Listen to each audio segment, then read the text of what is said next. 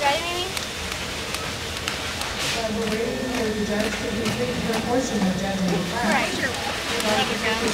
we you hit that spray, pink providers spray. in this No, pink spray.